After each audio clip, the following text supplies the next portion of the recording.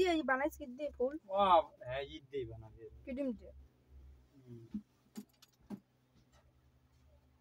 জোনাক কে?